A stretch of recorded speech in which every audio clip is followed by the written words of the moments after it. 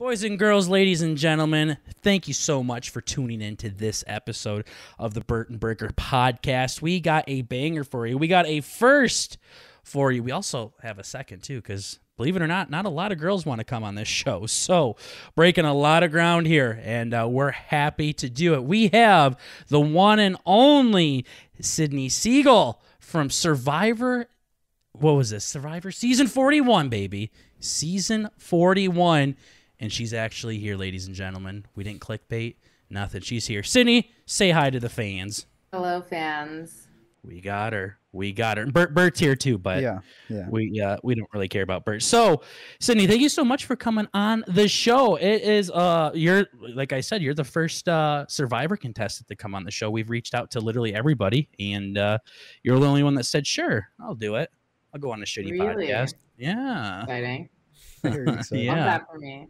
Yeah. No, and uh, um, second girl to come on. We had a girl come on back on episode 69 out of all of them. So that was very exciting. Um, and I don't think she talks to us anymore. I think she blocked us everywhere. No, I'm kidding. Latin Cats the show. Yeah. Um, but happy to have you on. So, Sydney, uh, why don't you just kind of introduce yourself? Tell everybody uh, who you are. I'm sure everyone knows already, but for like the six people that, that might not know. Well, I'm Sydney. I'm 26. I'm from Los Angeles, but I live in New York. Um, I was a contestant on season 41 of Survivor. People ask me if I won. I never concede that I lost. I always just say I'm the people's winner. Um, Absolutely. So that I am. I'm the people's winner of Survivor. I'm a law student. And yeah, nothing too crazy. I don't know. I'm a world traveler. Mm-hmm. I am single and mingling and all of the above, yeah. just enjoying life. Mm-hmm. Heck yeah. Well, you came to the right place, the BurtnBurger podcast, to solve all of those problems there.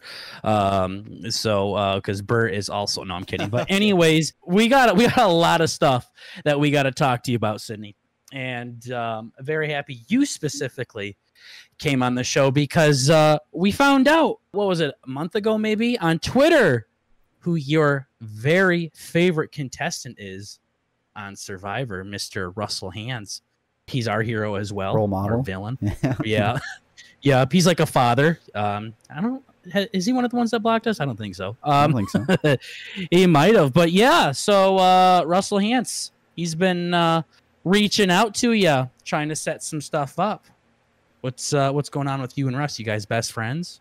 You guys homies? I mean, yeah. Like my childhood dream is my current reality, and that's mm-hmm. to be mm-hmm. best friends with Russell Hantz. he was my Lord and Savior. Like anyone who can just run shit. Like, come on. The thing with Survivor is everyone has one vote. Like everybody mm-hmm. has equal power. Yet Russell, with his one vote and social prowess, was able to just control the game. And like, I like the fact that he wasn't very I don't want to like correct and considerate. mm-hmm. Like it made for great TV and like it was just hilarious. He was so funny and I always say anyone that's unapologetically themselves like I can appreciate. So like I appreciate Russell. So like during like the season obviously like we're not supposed to really interact with prior uh contestants, but like you know like some people do and like it's unavoidable because some contestants like no prior contestants and whatnot but mm. I really wanted to reach out to Russell, but like I knew I had to wait because as much as I love him, I'm like I don't trust him. He's gonna air me out. mm-hmm. So I waited and I waited. And the moment I could, I was like, okay, I gotta just let it be known my love. sure. Sure. Okay. And and the love is definitely reciprocal. Uh, he's it seems like he's been trying to uh, slide into your DMs and everything. I mean, I'm sure that happens happens a lot being the queen that you are, Sydney. I mean, it's literally in your Twitter handle. so um, you got you got Big Bad Russell coming in. So he was asking about what are the odds of, of you guys going on a date, and then next thing you know, um, Sydney's retweeting it. So I think we got a future like blood and water uh, contestants here going forward. That'd be great. That'd be pretty badass if you ask me. that would be so badass. Ugh. I love him. I wanted to go to Houston um, to visit, maybe for like the Survivor 42 premiere. Mm-hmm. But it's my spring break, and I think I'd rather go travel than go to Houston. So true. My right? youth is fleeting, but Russell will be there forever. He will be, and he'll be waiting for you. As he should. Uh huh. Yeah. No, and uh, Russell's kind of the, a big reason why I got into to Survivor as well. So I grew up in an area where uh, TV wasn't very uh, sparse. I guess like it was very few and far between and CBS was one of the channels we got, and was Survivor going on there. I was kind of forced to watch it, not really forced. Like fucking parents didn't glue my eyes open and make me watch it or anything, but he was he was one of the contestants there, and like kind of liked him for the same reasons that uh, I like you because just being a badass and uh, doing what you want to do and being that unapologetic person and things like that. So definitely uh, one of the coolest characters out there. Um, definitely his uh, strategy could have been a little bit different, I think, but uh, to get a couple more jury votes there. You know, fuck those people. Too bitter. Too bitter. So bitter. Mm-hmm. I would have been it's bitter. Crazy. like I always said, like the people like, oh, who would you have voted for at the end? And honestly, my answer is like whoever I hated the least. Like sure. I would like to say that it's like, oh, whoever played the best game. But I'm mm-hmm. bitter. I don't give a fuck. like yeah. you like screw me. I'm like, I don't like you. Why mm-hmm. do you get a million dollars? Like, great, it was probably the best move of your life to screw me. But that doesn't mm-hmm. mean I want to give you a million dollars for it. Mm-hmm. I give yeah. it to someone I like, which would yep. make for bad TV, but I don't uh-huh. care. Yeah, mm. absolutely. And I saw one of the interviews that you've done on YouTube, and and you you answered it with uh, Tiffany. You said Tiffany was would be one of the ones that you thought could have gone very far with it, and uh, Bert and I were a pretty big fan of her gameplay as well.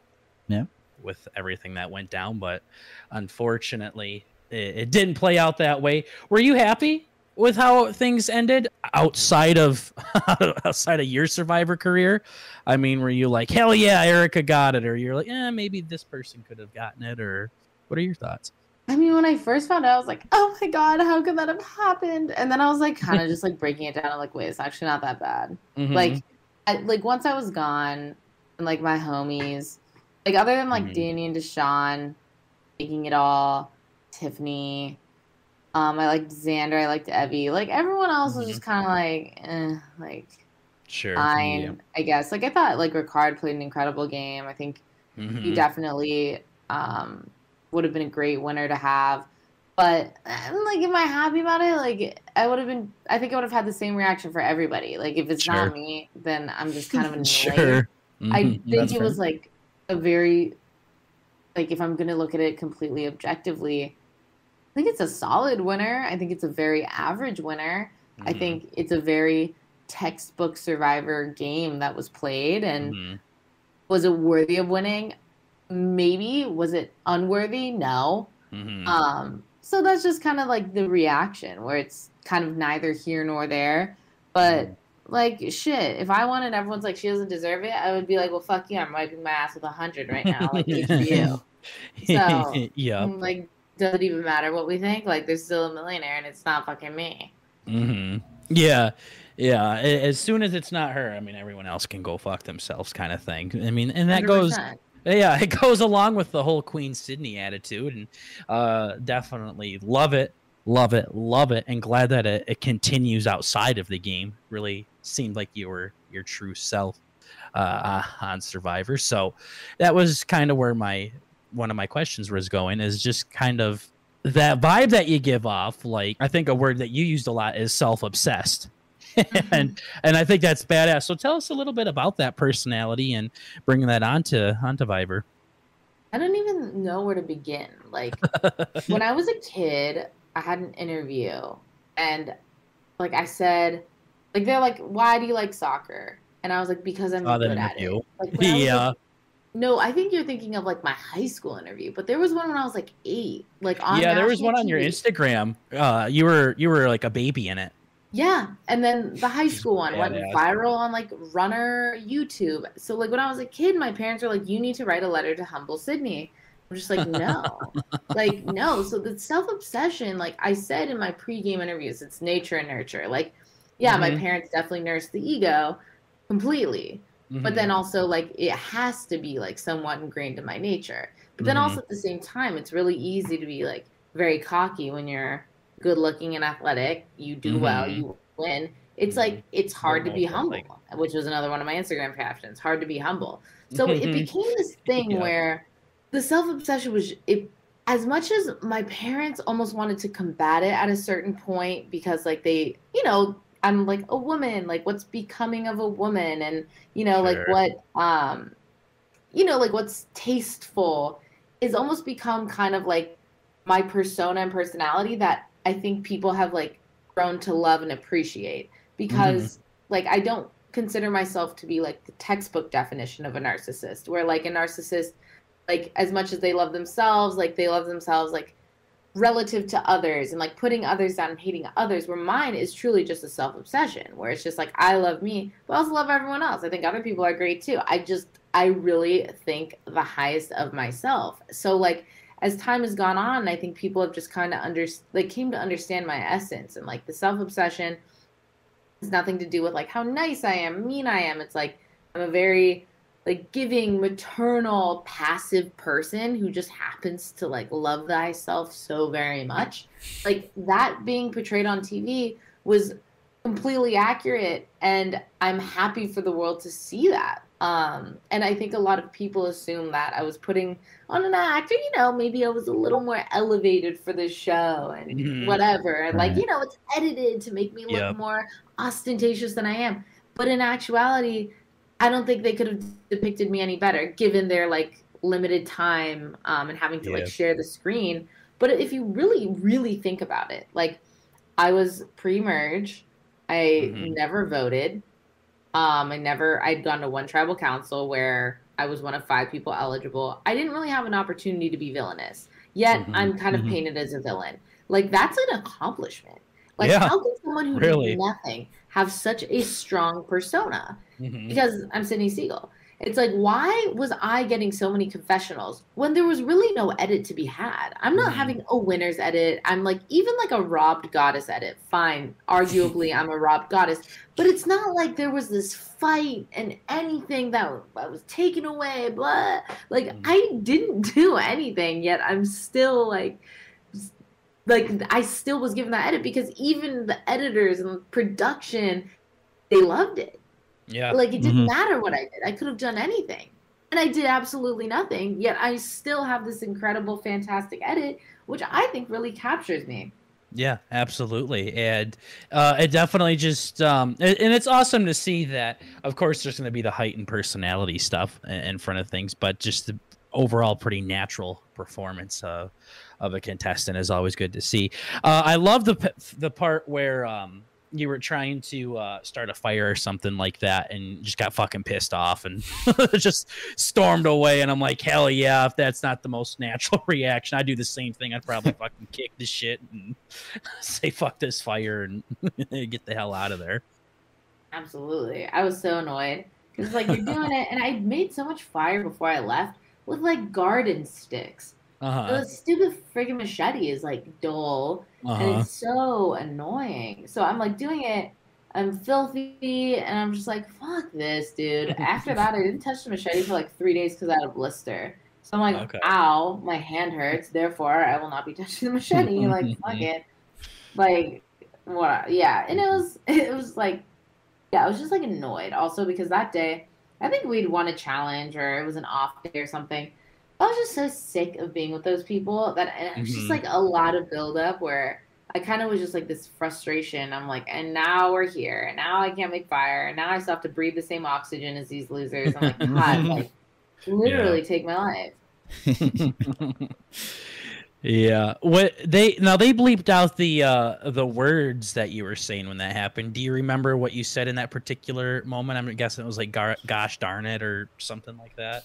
Yeah, definitely gosh darn it. Yeah. Like, fuck this shit. it was funny because Danny was like, girl, like, you're going to have no screen time because all they're going to do is like bleep, bleep, bleep, and then like mm-hmm. blurring my nudity. And it's like, I'm just a one giant bleep. And then it really did make me very conscious of my potty mouth, which again, not very becoming of a woman, is something that I have worked on because of that experience. Mm-hmm. Yeah. Sure. Well, don't worry. We we don't blurp a whole lot here um, at, at BurtnBurger. So um, just when my co-host talks most of the time, but mm-hmm. not because mm-hmm. of specific words, just because of the cringeness to it. So, but starting yeah. off with the Survivor adventure, because it is quite the process to go from your everyday person to being a contestant on the show. And just so you know, Sydney, there is somebody in this call right now that desperately, desperately wants to uh, be on the show that you were on. Any tips and tricks along the way would be helpful. There, I said it for you, Bert. Oh, thank you. Thanks Mm-hmm. yeah, yeah, no kidding. Eh, no, it's not Bert. It's me. Like I've been dreaming, like literally dreaming, not even like a cringy kind of dream. Like it's my passion. Like literally fucking falling asleep, getting fist bumps from Jeff Probst. So, so any advice along the way? But that first process, I mean, where does this all begin? Because they always say submit your tape online, and I've done it like maybe five fucking times now at this point bastards won't reach out. How what, what did that journey look like for you? I mean, uh, was it like one tape and you were in? Was it twenty? I mean, what, what did that look like? So I um I actually applied to the Amazing Race.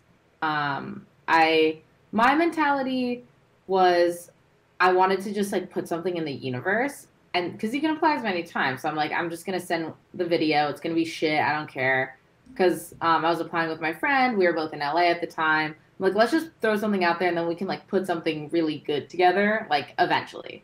Mm-hmm. Right? That's what I, my thought process was. So we like propped up the iPhone and like talked for like way too long. I think it was like a seven minute video. I didn't nice. even read the instructions. I submitted the application, and I think it was about two months later. I got in a call being like, "Listen, we want you for Survivor. I mean, their fear for me was like I'd be too fancy because like me and my friend tried to like play like the Beverly Hills thing, like ooh, okay. some like Beverly Hills bitches. But I was like, no, no, no. I actually am quite rugged sometimes. Um, but it was I don't know if it was serendipity or what. Um, but like my advice, I would say, is like just don't do the most. Like you know, like the saying, do less more often. Just do fucking less. Like, I sure. bet people are doing these like massive videos, crazy this, but really they're looking for the core and they're not looking for like editing a video. Like, they, I was literally talking to a propped iPhone, but I was mm-hmm. like talking the same way I'm talking now. Mm-hmm. I didn't have anything scripted. I'm very good off the cuff. So, sure. what I've told people, because like, listen, I don't have their criteria, but what I do know is that they cast very different types of people, right? Like, and one thing I think they loved about me was the fact that you literally cannot pluck another Sydney Segal off the street. You can't. Mm-hmm. like, there's some people, there's like a million of them. You could probably pluck another one off the street. For me, I'm literally one of a kind.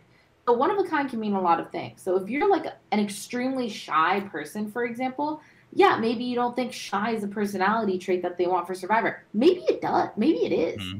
Maybe that's part mm-hmm. of the social experiment. So whatever personality traits are like very, very, like very much you, like you play those up. Like I am a cocky, cocky, narcissistic asshole. So like mm-hmm. I talk about myself and I like, like some of myself self-deprecating, but like what it is. But the self-deprecation comes from a place of like, oh, if I'm not the best, I'm the worst, right? So like even my mm-hmm. Instagram caption when I like got off Survivor was like, or my location was Loser Town because I'm like, I'm a fucking. I saw that. Yeah. So it's like playing funny. up like whatever quality is very much you. And I don't think they want desperate either. Mm-hmm. Right. Mm-hmm. You're like, I want this so badly. The same with a million other people. Yeah. Yeah, that was my thing. I was like, how can I do this tape to where it's kind of unique and it's not things that they've heard literally a billion other times and i think the answer is kind of what you said just being yourself there because uh, for the most part, there is only one you. I mean, there's a lot of personalities that are very similar to yours, but uh, I mean, there's only one you, and uh, that they want to see you. I mean, they even say like in their captions, like, "Don't fucking wear costumes and do all that cringe shit. We don't want to see that."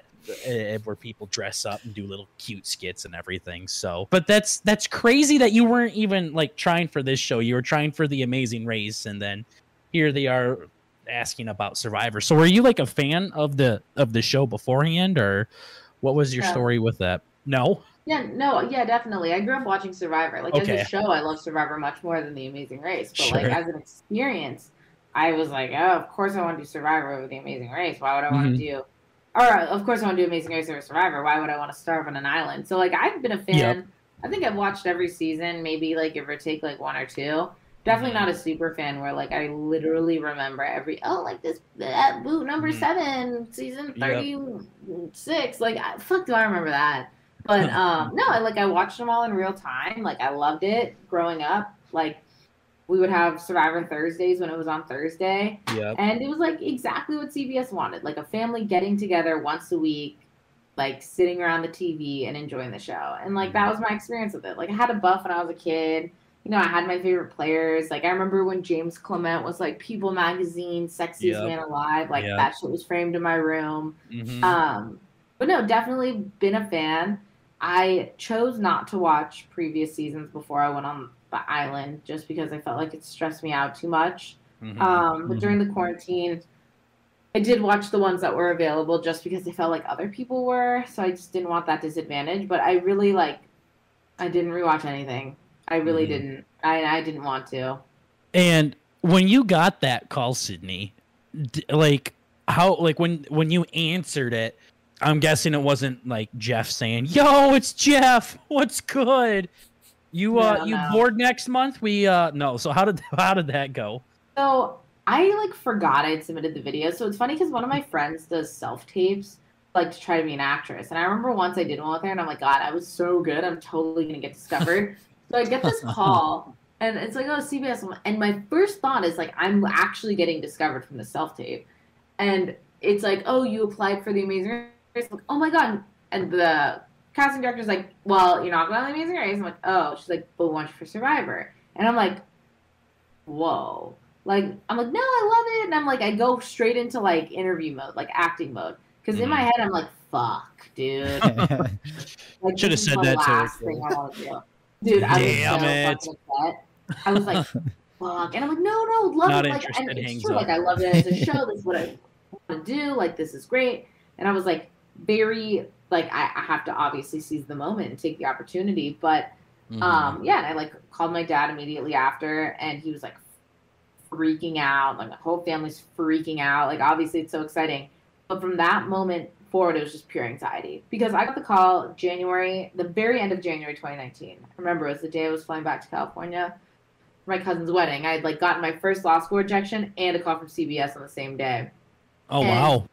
I know so I remember that, and then, um, but I was getting a call for filming in 2020. So because they were already season 39 was done. Yeah. Um, casting, and then 40 was when I was at War. So mm-hmm. in 2019, I got a call to go on for May 2020 because I was supposed to do season 42 because okay. I was in school. So mm-hmm. then with mm-hmm. everything with the pandemic and whatnot, like would you do 41? Like so many pushbacks, this, that, and the other. Um, and obviously that's what I ended up doing, but it was a whole process. And I would say the overarching theme of it was anxiety. Like the, it's mm-hmm. something I like didn't want to do, but I was not going to say no to. Mm-hmm. Obviously, I'm glad I did it. Mm-hmm. Now, did the number just come up like as a number from Los Angeles or, or something like that? Because I, I've gotten to the point to where my phone's like spam or likely spam. I'm like, yo, here it is. this is it. Yes. Or it's like a random number and then they're asking me about my car's extended warranty or health insurance questions, stuff like that. Oh my god, literally. Like I at this point I only like accept LA or like New York numbers. Like yesterday I'm like, ooh, a New York with an area code I like don't usually see, and it was like a call I've been waiting for, and I was like obviously super stoked. But mm-hmm. no, it was um, it was a random three two three area code. Sure. Okay. Santa Monica mm-hmm. or something. Mm-hmm. Yeah, it, and I, I just I, I don't answer all of them, but I, I sure hope the uh, the casting director, whoever it is, would uh, you know, politely leave a leave a voicemail because daddy might be busy and can't answer. So I'd gladly return your call at my earliest convenience kind of thing. So and that was it. Like it was one call and you said yes and that was it. I think I read online somewhere that uh, they do like they interview somebody like five times before. Oh they, yeah, no, that was just the first call. Okay. So that was just the first. One. Then it's like a whole process. Then it's sure. like I was constantly in touch with her, and then like like I think she does like she did her own like individual vetting to like see if then she like you interview with um, casting directors. So then you do a couple Zoom interviews, and then mm-hmm. from the Zoom interviews, then you like you get chosen to go to LA and do the week of casting. Um, so okay. I did. You have to do all these forms, physicals, whatnot. So I'll, obviously that kind of stuff, and then there is a full week of casting where mm-hmm. you are just in interviews and um, medical this and psych this and taking this test. So people were cut like every day from LA. Mm-hmm. Um, and you don't know, like, and then they'll just put you on a plane like that day or the next day. But I wasn't cut. But then they don't, even if you're not cut, that doesn't mean you're on. Mm-hmm. So they don't tell you until a couple weeks before. Obviously, my situation was different because of COVID. So yep. still, I didn't get the final call that I was officially on until January of 2021. Wow. Okay. Wow. Yeah, which is like annoying, but that's also like more time than they usually give. I think they gave the people for 39 three weeks. That's insane. Like you made the cut, and then three weeks later, you're going on 39. Yes. Wow. Yes. Wow. Wow. Boy, that pissed my work off too. Yeah. yeah. What the hell? I know, right? Oh, okay. So what was that week of casting like where it's just like it sounds like American Idol where you're doing all this auditioning and stuff and they're just cutting people left and right and final 4, final 2, final you know what I mean? Like this is before I even play the fucking game. Like holy shit, it's like a game before the game even starts. Well, they tell you that cuz like obviously like we're not allowed to talk to anybody mm-hmm. because um, they want your first interaction with everybody to be the moment you meet on the island and the cameras are rolling. So mm-hmm. like yeah, like when you're eating, you're kind of like looking like oh like this person's not eating meat like they're they must be like vegetarian or vegan or it's like oh this person like is fully tatted wearing cowboy boots and literally chomping on burgers mm-hmm. like every dinner it's like you know just trying to like in a way stereotype and cast type and kind of see like where you fit in, see who's like giving you friendly eye contact, see who's not. So like sure, like there is a little bit of a game beforehand, but um the interviews like it's not it's not a game. It's literally like them deciding whether or not you're a good personality for the show and a good personality for, for the season. So I remember there was one point where um the casting director told me like I like I think you're good, but I don't know if you're good for the theme. I don't know what the mm. theme was. I don't know what the theme was gonna be. I don't know anything about that, but that's another mm. thing to take into consideration. So like people that've been in the pipeline and in the system for years, that's like okay, maybe next one. But they're like all, almost like a permanent backup. Mm-hmm. And and that kind of makes sense, like with what you were saying, where you were supposed to be 42 and then ended up being 41. It kind of just depends on on what they're trying to do. So it sounds like your time will come eventually, hopefully, but could also turn into uh, something big. Because I know Tina, the uh, first woman that won Survivor back in season two, she was like a backup as well. Like they they talked about that where she wasn't even supposed to be on the show but she was a backup and the person that she was backing up for or whatever ended up not making it work and then she won the whole fucking thing. So it, it definitely is crazy for that kind of shit and uh, like you get the call back in january of 2019 and then january 2021 now all of a sudden you're you're leaving to go to fiji and, and everything like that. So it's it's definitely the process it sounds like. Lots of little things coming together. Yeah, absolutely. Yeah, I was actually curious. What is it like? So, after the call, the 30 days, whatever, what is it like the day that you had to leave for the island? my God, I feel like I blacked out. I'm trying to think. Well, I. She was trash. Drunk yeah, as fuck, just like, getting ready God, to go. something I haven't been asked, but um, we all fly from LA. Um, obviously, still not talking. So I'm from LA, so I flew home a little earlier um, kind of got to say my goodbyes, see people, and then I was dropped off at the hotel, and you just go from there. So I guess I had the benefit of having a little bit of rest beforehand. Mm-hmm. Right. And then you're just like, fuck, I can't believe this happening. Mm-hmm. Yeah. yeah. it's got to be super surreal. So then they're like, "All right, get in a boat, get in a plane or whatever. Here we fucking go." Yeah, and then like that's it. And it's, it was so much of an anticipation, like getting to that point, and then also just like how many negative COVID tests we had to have. Like I Oh, just yeah. kind of like let God take the wheel. I didn't do anything different. I didn't quarantine. I wasn't like specifically careful. The one thing I did do is like I made my dad get a test before I came back because he's like the least COVID safe person ever.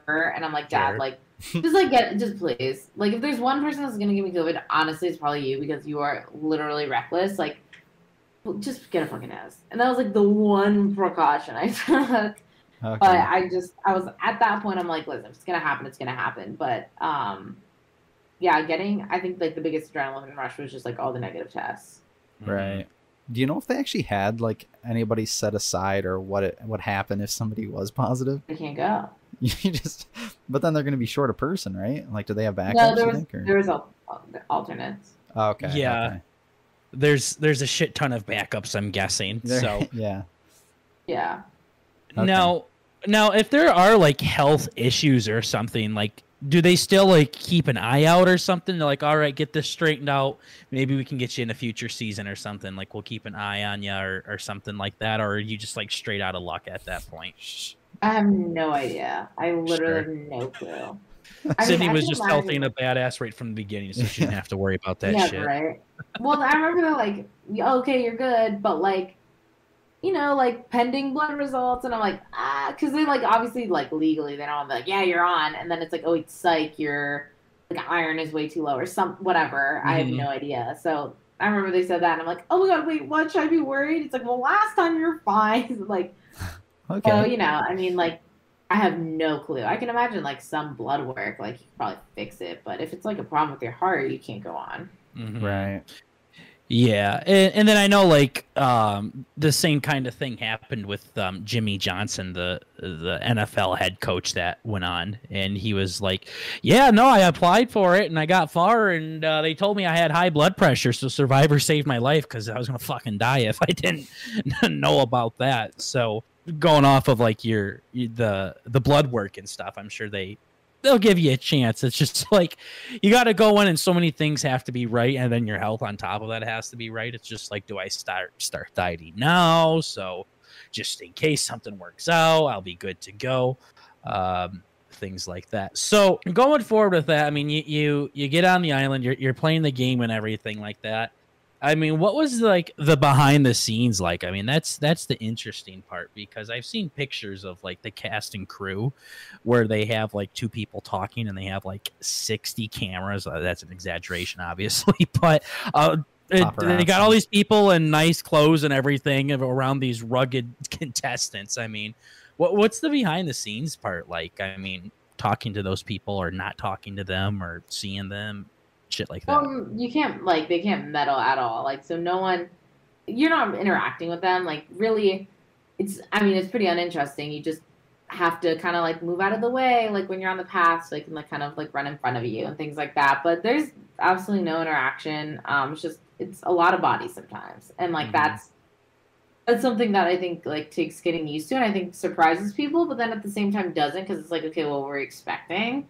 Um, I think like less about the camp life, more like the challenges, like how many cameras and how many people are there. like that's kind of the crazy part. Like when you first walk up, like I remember just being extremely astonished by just like the pure presence of just people and production and I kept thinking how much money this fucking costs. Like how much money does this cost to put on? Like I have no idea, but like oh my god, there's so many things and people. But yeah, behind the scenes is just not anything I just I don't I like know about. I'm just like staring and like just dealing and going through the motions and trying not to like die of misery. Mm-hmm. Yeah. Yeah, because they have like engineers and stuff out there too for the challenges, don't they? Ev- Everything. Like everything. Literally everything. There's Oh. like like even like swimming, like on every like every corner of every platform, like there are like divers. mm-hmm. Like Okay. underwater. There's yeah. Everything. Everything you can think of they have. Damn. And some. Yeah, and for a show that's been on for as long as Survivor has been, I'm sure they fucking they Got they've down to learned a lot. Yeah, yeah, and they they figured out a lot of shit along the way. So, what can you tell us about the challenges? I mean, were they a lot of fun to to be in? Were they very like you were talking about the anxiety before the game started? Um, I- what can you tell us about the challenges? That's a big part of of the game. Yeah, they were so fun. It was some like I get so nervous, but like they weren't as hard as I thought they would be. Like they're very daunting. Mm-hmm. Um, but like they're they're so fun. Like I was an athlete growing up and I haven't done Mhm. competitive sports in quite a while. So just like getting that adrenaline rush that very much mimicked like what I went through my entire life just as a competitive athlete was amazing. And it was something that I didn't realize I missed and something that I didn't realize I wanted. So it was so it was so much fun. Like hmm I yeah, I looked forward to them. I hated having to like sit out of them and like the one I did sit out of. But no, I remember um it was Danny who was like, Isn't it just like fun to be competitive again? And I was like, Oh my god. Like you're right. it totally is. So Mhm. it is um it's great. It, it really is. And like every element of the challenge is well thought out and yeah, it was just it felt like kind of being a kid again. Mhm. Okay. Yeah, and and that's the the crazy part. I mean, um, with the with the challenges with everything that's endearing and and then we're just talking about the setup with it and, and being in awe with everything is is crazy with that. So we gotta talk about the challenge, Miss Segal, that you kicked ass in, barely, barely missed first place, where you built a fucking like building blocks out of with your fucking mm-hmm. feet, Oh, yeah. everything. Oh yes. God damn, I'm impressed by that. You must have abs of steel, like you one of those things where you like can smash a two by four against it and the board will break in half. Those obliques. Yeah, no, that Yeah. was like wild. I remember it's crazy because I actually missed one of the base blocks. So Mhm. I had I built like most of it missing a base block, which is even harder, obviously. So I kind of had to undo some to put some back, which made it much much easier. So like yes, I lost time, but like I was very impressed with myself for having done it the way I did it and still being successful.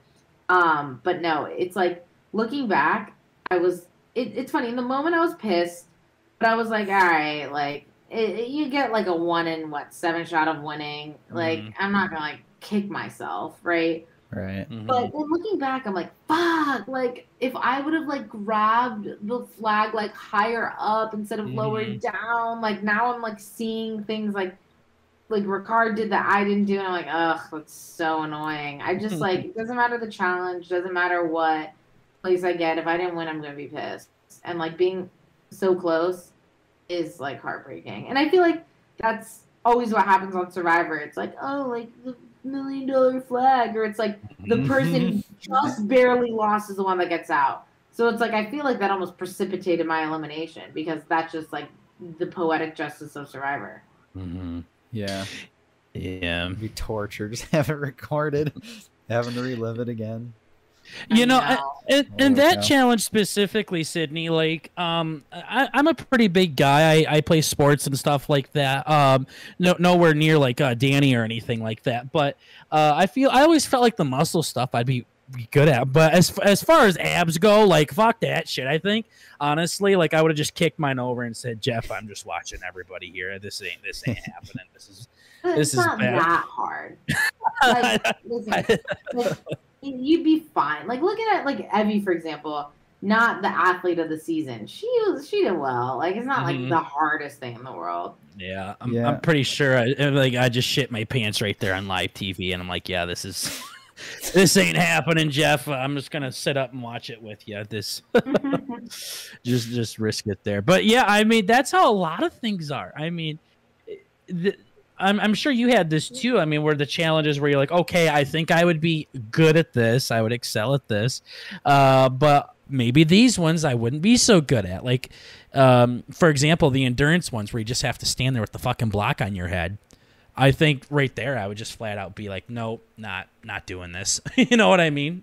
Yeah, I think I would have been very good at those. But I think you, you have an idea. Like even the one where I had to like walk across a rope. I remember like looking at Dan and being like, "Can I do that?" Because I think Naseer was like, "Oh, it's all about the upper body." I'm like, "Um, okay, I have no upper body." So and Danny's like, "Don't listen to him." And I was like kind of nervous, and I was like, "That show's easy," but like I'm like, I played.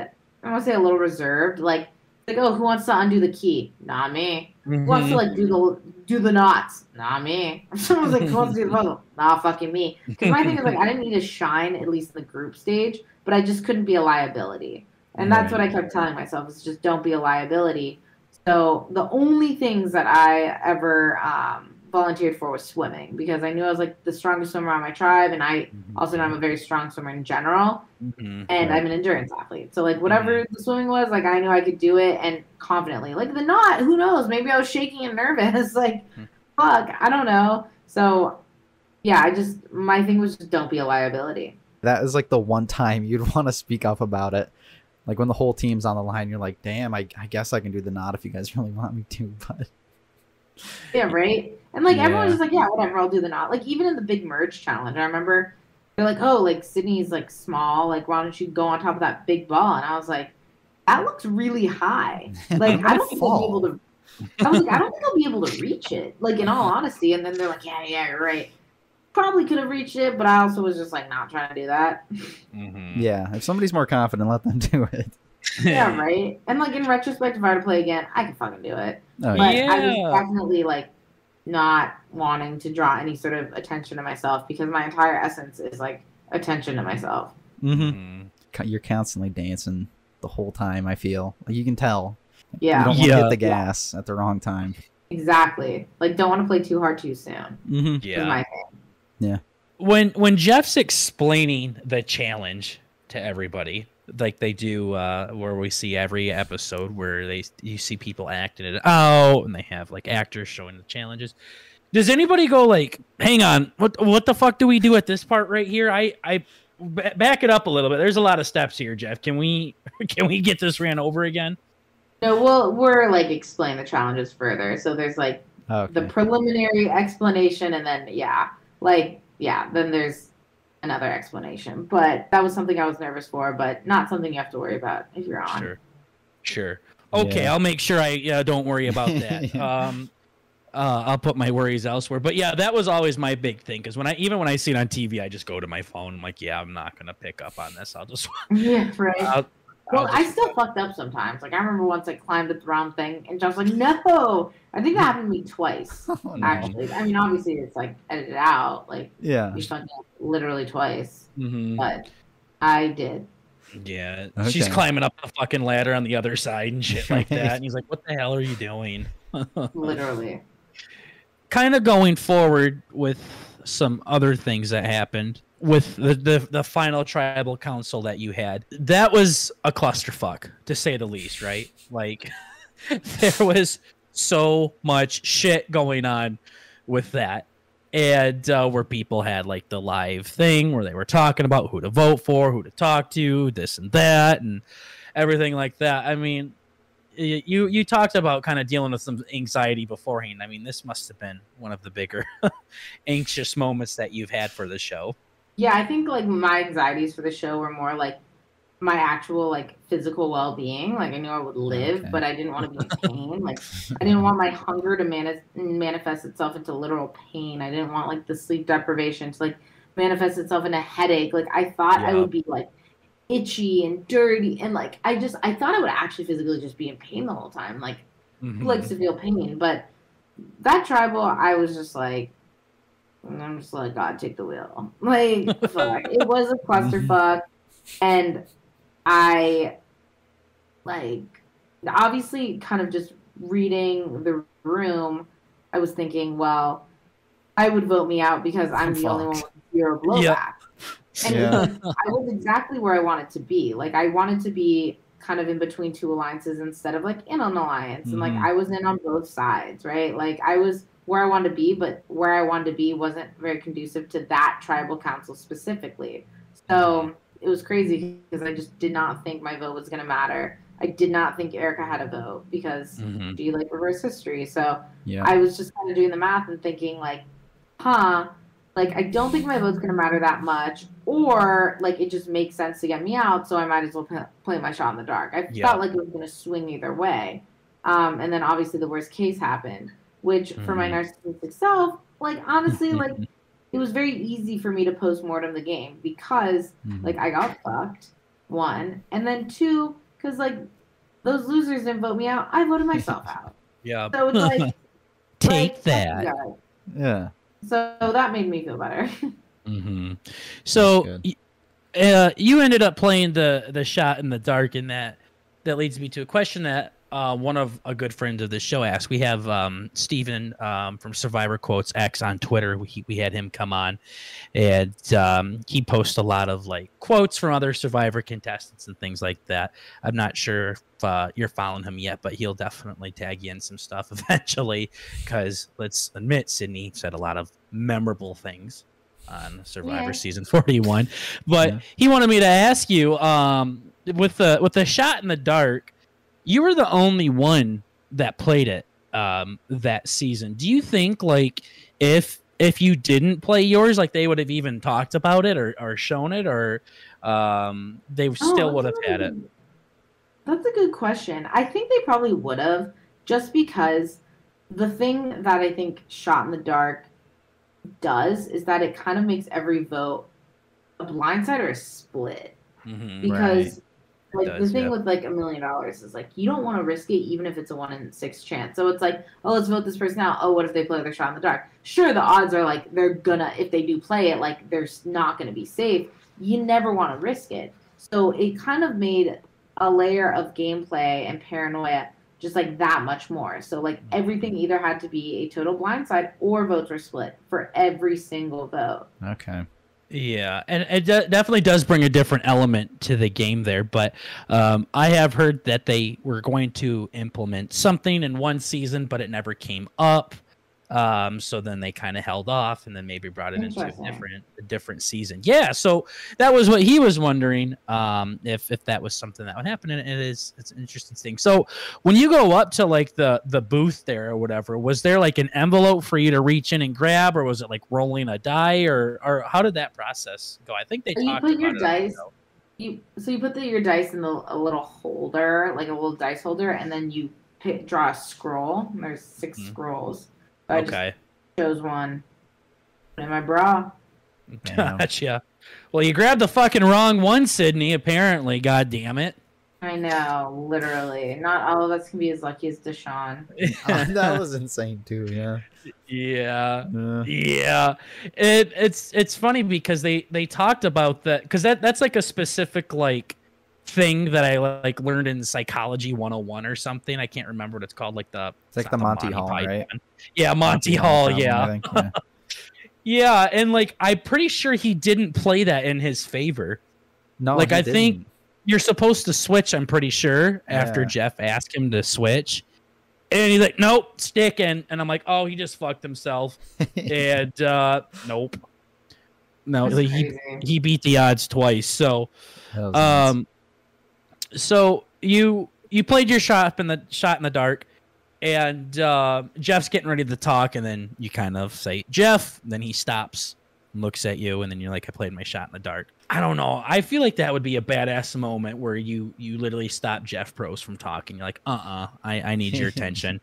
Look over here camera on me. I played my shot in the dark. Let's see what happened. And I uh, know. but I mean, even when I watched it back, Jeff was like, "You played your shot in the dark," as mhm. if like I was the biggest idiot ever. What Like the hell? That's so you dumb, played a one in six shot at saying in the game. You're like, all right. And I'm like, oh fuck. that was a joke. Yeah, I was like- I did play it. Um, Mhm. Well, it's funny because when we first got introduced to it, I was like, I'm not gonna play this shit. This is stupid. I was like, this is one of those Survivor twists. Like, you can't Nice keep track of souvenir. everything, so I'm just gonna act like it doesn't exist because, like, like it, I'm just like I'm not gonna like stress myself out. Stress myself out that much for a 17% chance, right? it's bad. I didn't even It's know it was in my bad. bag. I didn't even know if it was in my bag. I was like, when I realized I wanted to play, I was like, God damn it! I hope I still have this shit. put a rock in there or something you're like yeah we'll make it work Yeah, literally. Yeah, yeah. I'm guessing you couldn't like, I don't know, take a take a little peek or something. You're like, mm, nope, don't want that one. yeah. You just have your own piece of paper and write on it like safe lol. Like write on the parchment. Say Yeah. and then roll it up. Yeah, you say safe bitch or something. Yeah. yeah. Funny. Yeah. So you go up getting your torch snuffed. I mean, I always feel like that's like an iconic moment when when that happens. I mean, did it feel like that for you or were you just fucking pissed off? I'm pretty sure when you walked out, Sydney, didn't you give everyone the, the finger when, when you were walking out? I gave just like a peace sign because I'm like, bye. Oh, Oh, Peace sign. Okay. yeah, I- they're like, bye, bye, like love you. I'm like, fuck you. Like, yeah. what do you mean? Like everyone's at the good luck, guys. Good luck. I prayed for rain. I prayed prayed for sharks. I prayed for like lightning on heads. I'm like, dude, like screw that. Like, because I always thought about it as a kid, right? Like, you, you think of that iconic moment of getting your torch snuffed. I'm like, what would I say? Like, am I like, oh, you just got eliminated, right? Well, What would I say? I'm like, oh, would I be happy? Would I be sad? Like, how would I want to be portrayed? Like, okay, you can decide. And I think that's something every everybody thinks about. Um, but in all honesty, I don't even know how people could even think of being happy. It was just like in the moment how I was feeling, and how I was feeling was I never want to see anyone again in my life, and ha- like I literally talking about like how I've been the same ever since I was born. Like I remember Mhm. When I was a kid playing soccer, like I'd lose a game, a soccer game. I said something dumb, and I'd be like, "Well, at least I'm prettier than them," or like something really immature. It's like, "Oh, at same, least like.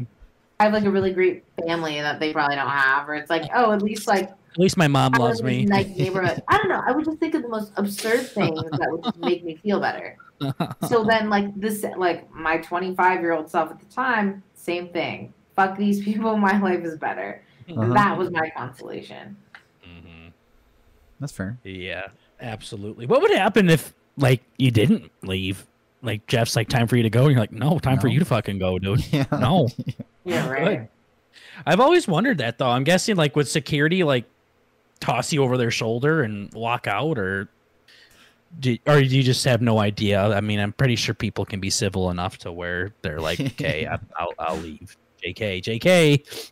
I have no idea, but um, yeah. Jeff will grab you by your ear. I know, right? Please. And I'd sue. No, I'm just kidding. Yeah. Yeah. So then uh, you're you're walking down the path, everything like that. You just go got voted out. Uh, the the show makes it look like you could walk into complete fucking darkness. I mean, do you have like people like pointing at you, telling you where to go, or Yeah, yeah. There's people there the whole time. I, that was something I was actually scared of because I was reading, like, oh, like how not to be the first boo, right? Like I Mhm. kept reading that, and then one of the things is like, oh, what was so like memorable about her is she got lost on her way out. Mhm. Forgot was. I'm like, no way. I was Mhm. like, that would be me. Like I'm so directionally challenged. It's like unbelievable. Mhm. It's like unfucking believable. Like I am I get lost while I have like my earphones in my ear. Like I'm not mm-hmm. kidding. Like with the navigation talking to me and staring at a map. It's like I'm so directionally challenged. Like that was a fear of mine. Like going on the island, like I'm going to get lost. Oh no. Yeah. That would Yeah. suck. Yeah. No, and and going into like your personal life a little bit, you say you say you travel a lot and you've been to like 50 different countries or some shit. So um your lack of travel skills might have made it what, like 60 countries at that point or I know, right? No, I mean it's funny because like one of the countries I went to, like I got on the wrong boat. Not like Oh. it was like not the wrong boat. Like I booked this boat that was called the Dubrovnik that I thought was going to Dubrovnik, but instead it was going to Montenegro. So you know things Ah. happen. Yeah, no, I can see why you get those two mixed up. It definitely makes sense there. The traveling uh, is awesome and everything like that that you do. Uh, went through your your Insta and saw that you've been to a bunch of awesome fucking places. Um, and then you're also a, a law student too. Um, and I saw you made some a recent post on Insta about that too. So, um, however much you're comfortable talking about with with your real job, I guess. Um, what's the what's the kind of goal with that? I mean, um, with uh, going to law school and everything like that, are you going to be like the next Saul Goodman, or uh, how does that work? um, well, I'll be a third generation Esquire. Ooh, Um, okay. No. So That's my badass. Grandfather was an entertainment attorney. My dad is does tax and civil litigation.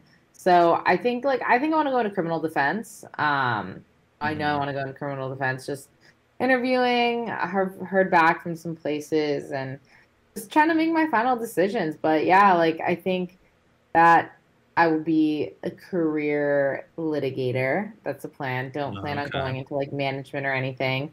Sure. Um, and you know, it depends on my mood. Sometimes I want to parlay that into being the president. Other times I want to be Yeah. a stay-at-home sugar baby tennis mom who like has a bunch of kids and plays tennis at the country club all day and then waits for hubby to come home from work. But it really Mhm. depends on my mood. sure. But I do um I do love being in court. I do love criminal court and it's been a lot of fun. And I think like for me, like I've I hate working. It's never Mhm. like I haven't really worked for longer than like four months at a time. So that's Mhm. sick. So I like kind of just wanted to pick a career that I would be just like constantly interested. And I think with like litigating and especially like criminal defense, it's like one day you're doing arraignments and the next day you're doing like a hearing. Then you're like doing some research. Then you're investigating. And you know, at the same time, like you're confronted with some really uncomfortable situations. So it's like you're Mhm. also constantly combating your moral compass and also like just confronting like huge world issues and that will just keep me interested even if the work becomes more like run of the mill like the issues will never be run of the mill like yeah, sure, I'll probably become desensitized at a certain point but um i do think it'll just like keep me interested and the goal is just not be miserable like Mhm. and every time i've Mhm. worked i've been miserable Mhm. Therefore, I, yeah, I, that's why I just haven't worked very much. Mhm. Well, it sounds like it's something that you're super passionate about, though. Yeah, I, I do love it. It's um, it's nice having a direction because, like, at least in undergrad, I had no idea what I wanted to do, and then like when it came to like applying for internships, it's like, oh, okay, like what type of business? Because it's like what a lot of people do at Columbia, like.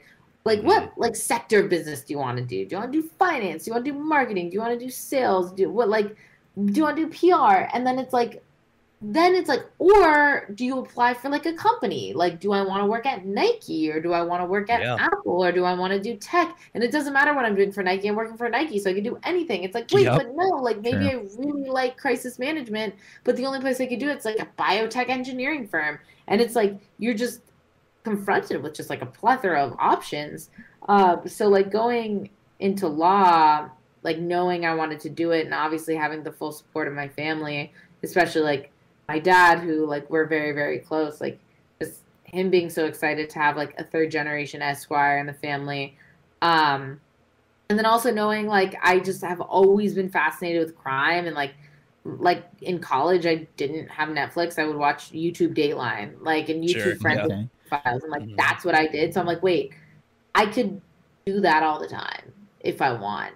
And then, you know, looking into it and then obviously becoming very passionate about it.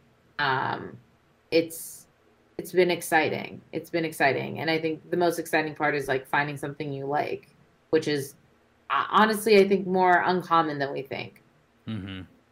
Yeah, absolutely, and and I I think that's super important too to to find that that makes life a little bit easier too to enjoy um to, to find those those passions so but no i mean that that's a real um beautiful answer and i uh speaking of beautiful i mean sydney shooter shoot uh what are you doing this weekend?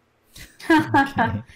I, I was like, it's restaurant week in New York, so I'm like, I was literally brainstorming outfits because I'm just gonna be like bopping around, being cute in the city. hell yeah. No i told my i told my girlfriend that i was gonna ask you that so um Yeah. You got permission. Yeah, yeah. She was like, "What if she says yes?" And I'm like, "Nah." She commented on Instagram that um, that, that uh, you need to have a ring that you can see from the moon, and my, unfortunately, the podcast just doesn't cover bills like that. So, Sydney, Yeah. going back to talking about you, because this is all this episode is about, is Sydney Segal. We hit you up on Twitter, and we gave you a little bit of homework to do before you came on this show. Um, what we do with all of our guests, if we remember, is we ask them what is the most fucked up slash weirdest movie you have ever seen. And uh, you accepted this challenge with open arms. You were like, fuck, I gotta think I've seen some demented shit. And we're like, hell yeah, those are the answers that we need Uh, so uh, I'm I'm excited to hear. I mean, what is uh, what is your submission for for this week's uh, movie special? And uh, Bert and I will watch it together and talk about it next week, and, and we'll see just how fucked up the movie really is. Okay, so I'm not a huge movie buff, but I took this so seriously. I recently went on a hinge date, and the guy's like literally studying film. Like, what is the most fucked up movie you've ever seen? And I need to see it so I can actually use this for the podcast. And it's called Titane. It's a French film, and it is fucked up. It's just Oh, fucking boy. weird. So watch Titane. Titane, and I can't wait to hear. Like, you guys are just gonna be like, like your faces the whole time. are just gonna be like, what the fuck? I'm gonna It's just, it's just absolutely demented. I'm Like, because I was thinking like Us, which you've probably seen, but like, Us, yeah. No, I haven't seen that one, but um, I know well, what that was my about. answer. But I Okay. figured you've probably seen it, and it was just like, it was just one of those things. Was like, whoever fucking thought of this is just fucking ass. You know what I mean? And like, but I Oh, just yeah. felt like that was too mainstream. So if we're going less mainstream, Titane. But also Okay. watch Us. All right, we'll put us down for you, but we'll check out us as well for your hinge date.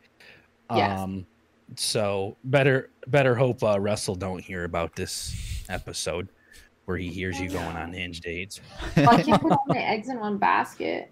Yeah, you got to be true. smart. Yeah, I mean, you Yeah. can. Uh, Mormon's still pretty cool. You can do reverse Mormonism, I guess. So, Oh, I'm so down. yeah.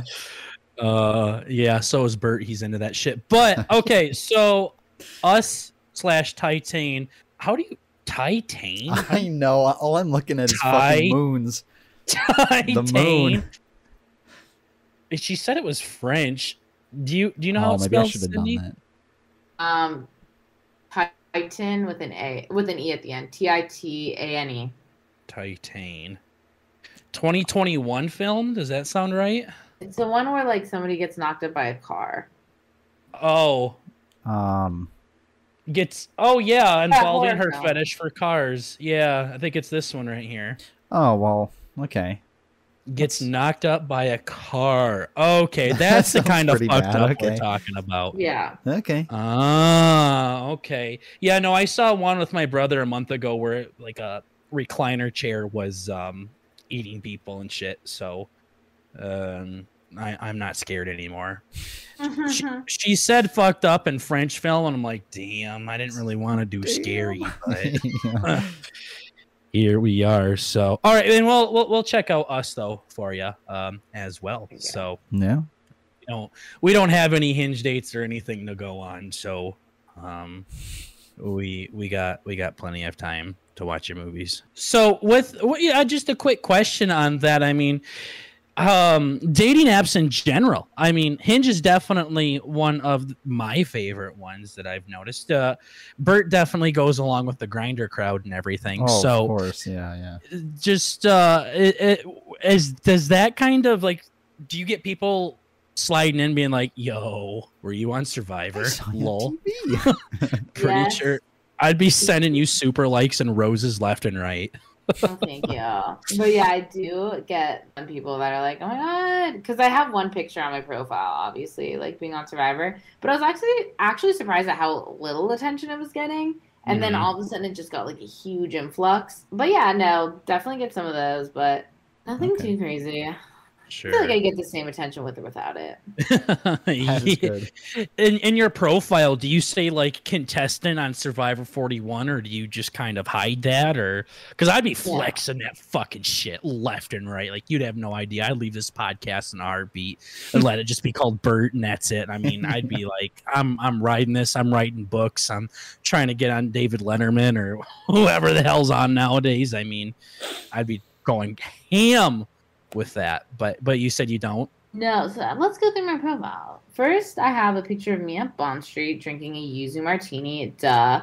And- yeah it says my mantra is and believe it or not this was up before the episode aired it's they hate me because they ain't me so I was, that was Oh. also my senior quote in high Mhm. school so it's like something i've said for forever then it's me being cute in italy just like in the streets of sicily um five six um jd candidate columbia brooklyn law school from la dating me will look like, and it's like me eating pasta because you will be feeding me. That's Uh-huh. a must. A What if I told you I've been to 50 countries, me, then me Mhm. on Survivor, just kind of like thrown in there, says you should not go out with me if you're from New Jersey or live off the J train. I don't do that. Okay. I said this could be us, and it's like me running with my high school coach in the canyons, and then Oh, my yeah. uniform, and it's me in a bikini. So it's a solid profile, I have to say. yeah. Yeah, yeah, no, absolutely. Mine's uh pretty fucking pathetic. Um, uh, Mhm. but it, it got me somebody, so Hey. I, I got my own Sydney Segal. You know what I mean? Like that that that's, that's yeah, yeah. I'm sure she'll like hearing that, or she'll be super offended. I'm not sure. So. Um, That's nice. yeah, yeah. I mean, she didn't. Uh, she didn't go on Survivor, but uh, she's she, it- it's pretty up there. You know what I mean? Uh, she she uh, is a multi-billionaire, so that that. No, I'm kidding. But Of course. Of Oh damn! I was gonna say hook me up. yeah, seriously, Hinge is actually where I've like gotten the most like serious relationships out of as well. So, um, I I've thought about writing my um love story to Hinge, so maybe they could sponsor the fucking podcast or something. So we Yeah. can uh we can pay for those uh, student loan bills, Bert, Mm. which Sydney knows all about, being a law student and everything. Uh, sure it's It- fun. Is that where like the first chunk of your million would have went? I'm sure you get asked that a lot. Like, what would you do with a million? But I'm guessing you would clear the fucking student loans first. Yeah, you know, just I got pretty lucky. I ran track. College was paid for. I got a Oh, most badass. of my law school paid for. Um, and then you know whatever was left because I got an academic scholarship. Smart. Damn, And- smart and athletic. Now I see why Russell and likes you so much. I know. I'm. What I say? Like good looking, savvy as hell. You know. Mhm. Amy because Amy. Um, but no, I would have. I would have invested in a duplex. I actually had a duplex and a triplex picked out in LA, Mhm. and I had my. I literally thought I was winning this million. Like I had my loan in place, three point five percent. Like I was going 50-50 with my dad. Like this shit was done. I had the numbers crunched. Like oh my god, dude. Like oh my god. had it already out and everything, and the bank comes back and they're holding their hand out, and you just fucking smack it away. yup. Basically. yeah. Yeah. Basically. hmm Yeah, because I know some people in the comments you're gonna get a lot of hate and everything, saying that you voted yourself out and all of this bullshit. But I think you had a really good response with um with how you responded and saying you didn't know Deshawn was gonna. It's all hind- hindsight, right? Right. Like obviously, us bitches sitting on the couch watching you play, we know everything. Oh yeah. Uh, we, we see the confessions. We see people admitting stuff. I mean, you guys, you guys, it's it's a hard game to, to play. Yeah. Honestly, I think it's one of those things that you made it on the fucking show. They didn't fuck off. so, Yeah. Right. uh, and, and definitely not only did you make it on the show, but you were a character that stood out big time and uh, was uh, uh, a big personality for the show that people will remember.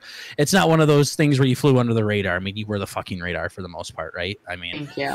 yeah. yeah, and, and controlled all of that. So, other than that, I mean, we're starting to get towards the the end of the show here. I don't want to keep you keep you too much longer, but Bert, was there was there anything else that you wanted to ask Sydney before we wrap everything up? I've actually uh, been thinking. So I watched, uh, I think, another interview you had. It was like a podcast or something, and you mentioned that you like to hike a lot. I actually hate hiking, but I do hike a lot. Okay, I was gonna say, how does that work with being directionally challenged? oh my god, dude. I I, like, like, That's why she hates it, bro. yeah, dude, I cannot. Yeah, no. I like. So it's funny because like I don't like to hike, and like every time I hike, I'm like, why am I doing this? Like. Uh-huh. I did five days in in the Andes Mountains, and I'm like, never again will I do a hike. And then all of a sudden, I'm in Guatemala doing like a two day hike, sleeping at altitude. But no, it is like, oh my gosh, I I like, oh my gosh, my last hike, I was with like this guy I met, um, just like on the hike, and we were like way ahead of the crowd, and like we had to beg the tour guide, like the guy, like please let us go ahead, like we're gonna miss sundown. Like these losers are too slow. So we're like running to the top. And I, I kept asking him, I was like, you know how to get back, right? You know how to get back. Cause like I do not trust myself. Because Like, I do not. yeah. I was like, Yeah. I a hundred percent do not. So I was like, please. I was like, you know how to get back. He's like, yes, Cindy, I know how to get back. Like, you know how to get back. He's like, I know how to get back. So that is definitely a challenge. And like, it's funny because like even when I first moved to New York and I'm on Google Maps and it's like, oh, Southwest on 26th Street, I would pull out a fucking compass. Okay. I'm not even kidding. My iPhone compass because I like didn't know which way south was. Now I do. I'm like slightly better, but no, it took me 26 years of my life to realize that like when I'm on the 10 west in LA, that's going towards the ocean and I'm going west. Oh, okay. Mm-hmm. I know. It took me so freaking long, but there's just something in my brain that doesn't connect and I've cried about it many times because I I get lost very often and it's very upsetting. But it hmm. made me more savvy. Like when I travel, people are like, okay, you travel alone a lot. Like you're always getting lost. It's like, well, I download off offline maps beforehand. Okay, I have yeah. external chargers because if that phone dies, I am done. You're gonna die. Yeah, you're fine. I will die. Yeah. Yes. yeah. Okay. Yeah. But I mean, she made it on Survivor though, so I guess they don't really give a shit if uh, you're gonna die out in the wilderness. They're like, "Hey, good TV, right? Lol." Oh yeah, definitely a, a fear of mine was getting lost on Yeah. island. Mhm. Everybody's like, "Hey, I need you to come help get me water." And you're like, "I don't want to get lost. Okay, I don't need to talk strategy. I just don't want to die out in the woods." Oh no, we put like a coconut or something like where I turned to the water well because it took me days. And I'm telling you, the beach is not that big. It's really Mhm. not, hmm but it took days. That is awesome. Yeah. Yeah, they're like that Balto movie where he carves out the fucking bark in the tree so he doesn't get lost. So Right. She's scratching away at the trees profusely. Yeah. Last last question I have for you. I mean, when you when when was the first time you you met Jeff and and what was that like for you? Um, in LA. Mm-hmm. And he's just like he is the way he is on TV. Mm-hmm. And it's just Yeah. like really easy to talk to, really cool, but also like that same voice, the same energy. Like that's Jeff all the time. Mm-hmm. So it was like very, it was like it, it was very well. But then like I remember being told like, oh, like he's he's cool. Like don't worry. Like it's, it's not gonna be as like oh my god, it's Jeff Probst as like you think it's gonna be. And that was also very true. Like very Okay. Approachable. Yeah. Yeah, he seems he seems cool. I mean, he was chill when he gave me the fist bump in my dream. So, Nice. um, yeah, no, he he went out of his way to do it, and I appreciate that. So, I don't want to tell him about that because that'll probably creep him the fuck out. But, um, I, Yeah. I just I just had to ask. So, anyways, that is about all the time we got for this episode of the BurtnBurger podcast. Sydney, thank you very much for coming on the show. I mean, do you wanna you wanna shout out your shit where people can find you, where they can see more of Miss Queen Sydney going forward? That's exactly where Queen Sydney on Instagram. That's the handle. Never changed it. Heck yeah. Absolutely. So go check out Sydney, first contestant of Survivor that came on the B&B podcast, guys. So again, thank you so much for coming on the show. Bert, thanks. Thanks. Anyways, um. Thank you very much to all of you guys and gals that listened to this episode of the BurtnBurger podcast. We're just trying to bring a little bit of the family element to the podcast world. Remember, guys, it's just comedy. Calm down. Other than that, thank you. Thank you so much, Cindy, for coming on the show. We Thank you. appreciate it. Hell yeah. All right, guys, we will see you all in the next episode. Take care, everybody. Peace.